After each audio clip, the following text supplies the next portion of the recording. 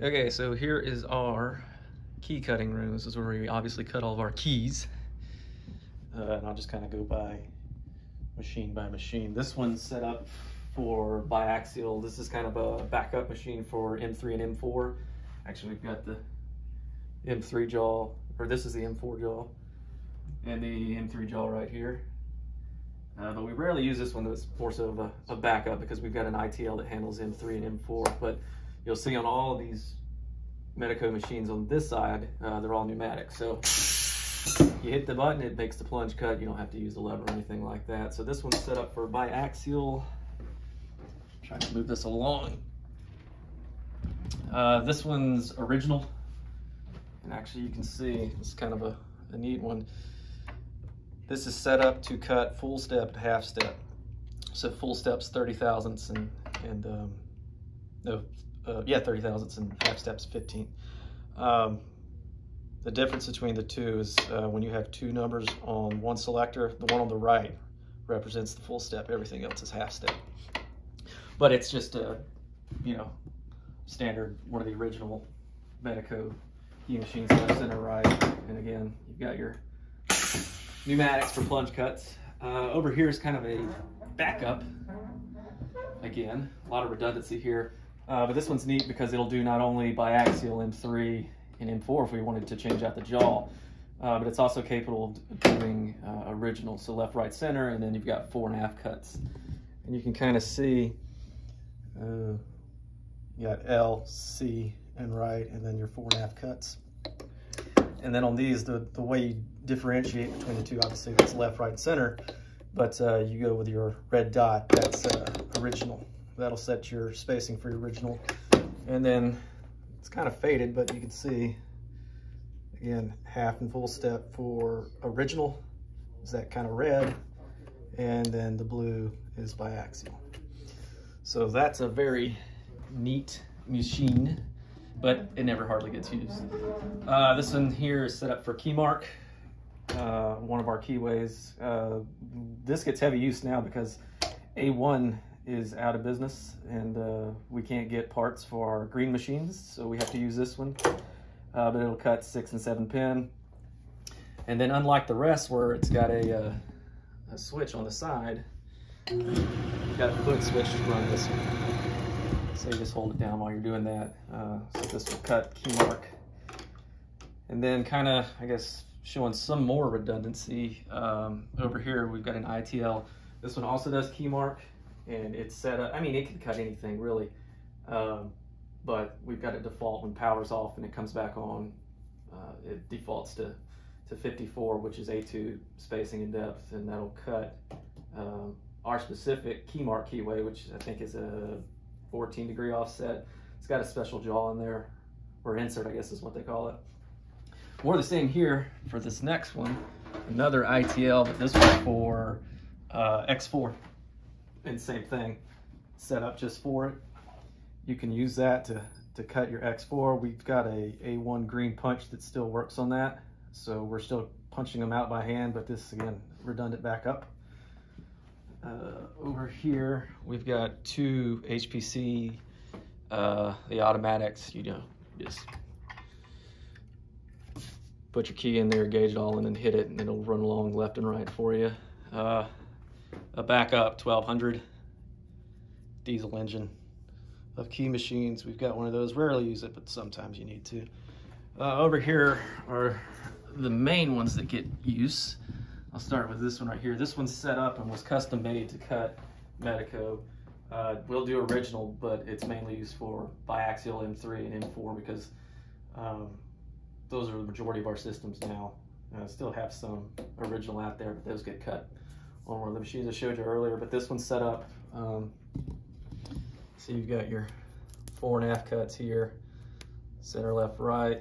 You can set your angles and depths that way, and then clear and it'll cut it. And you can see that it will start to rotate and shift all of that. Like I said, it does um, biaxial M3 and M4. The M4 is that they, uh, I guess, I guess they sell them now. They sent us one before. Uh, we got a special kind of insert. You can see it's recessed to protect those finger pins, side pins, that interactive element. So otherwise, if you just use a traditional one, like you were setting it up, it will cut for uh, uh, with a biaxial jaw or an M3 jaw. Problem is, is if you tighten it down, you risk uh, crimping that interactive element and it won't work. It'll stop moving. Now, we never had that problem, but I guess that problem could exist, so they gave us that special jaw, so that's what we use. These other two here are just kind of catch-alls. Middle one's probably the one that gets the most use uh, out of the two. These will cut anything, uh, well, anything an ITL can cut. All of them will, really, but uh, main, mainly um, Sargent, Schlage, Corbin and stuff like that, some desk keys and stuff like that. Um, but they'll they'll cut them all. We've kind of got this one over here. This one's really set up. If we've got a large run of originals, instead of manually doing it with the Medeco machine, we'll run it through this one. Uh, I don't know why it got that privilege, but uh, that's just the one we use for it. And, uh, so those are all three. Our big ones get the most use. And then we've got some very rarely used ones. You know, there's a slaughter for safe deposit certain mailbox keys. Uh, another biaxial machine. This one's strictly biaxial, but um, I don't even know if it's plugged in. It's never used. It's just specific keyways. Uh, a Framon. Again, I don't know if I've ever used that here. Over six, seven years, haven't haven't used it, but we got it. Uh, but then other than that, we've got all the blanks all the restricted stuff, high security stuff's in the back in a TL30 safe. Keep that all locked up. This is just stuff that's not restricted and you can get anywhere else. Um, various tryout keys so we can help identify keyways. Uh, for example, here's one with uh, Schlage quad keyways. That one's, can't read. VURP, I mean, there's the whole series. So we've got a bunch of those.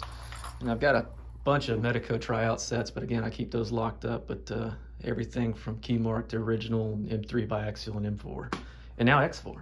Uh, and then some more test keys. If we stamp something wrong, we put it up here.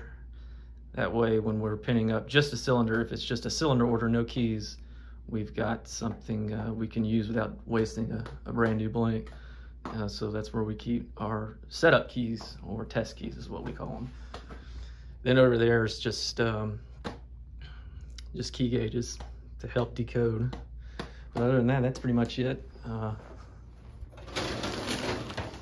we do keep uh, some parts and stuff in here, ITL manual and all that. These are, um, well, when we had the uh, A1 or the uh, A1 punch running, this is what we would uh, test it out with and, and calibrate it with. We had specific uh, cores and generations of keys that way you could uh, determine where you are, where you're hitting, what you need to be.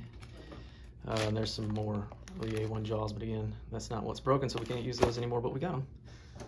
Uh, but other than that, that's pretty much it. I will show you one other cool machine we've got. Walk back here. I guess this is the uh, stamping room. I'll make a video about this, but here's our A1's uh, green machines. That's obviously an A2. And we've got one here original for A4. And then we got a few spares down there for the the uh, the A1, but our 7 series went kaput. It's the uh, part that holds onto the key it broke off, and you know you can't just interchange that with anything else. So it's it's gone. Um, so those are the punches. Again, use most of those for X4 uh, keyways because it's just so fast. And then back here is the last, I guess, key machine. Well, we got two of them back here uh, Kaba 8, Baldwin 8, uh, Gemini, the dimple keys. You can see there's the guide right there for the left-hand side of it. It's, uh, you know, you just wheel it in and set your depth and plunge cut and all of that. And then we've got a uh, Framon uh, tubular originator, which this thing is amazing this is interchangeable. Can't remember how you pull it up. There he goes. But it uh, seven pin center, seven pin offset left or right. I think we even got an eight one. So there's my dog Luna barking. Uh, but uh, that's it. Those are our key machines. And I will make videos for the pinning room and the stamping room going forward.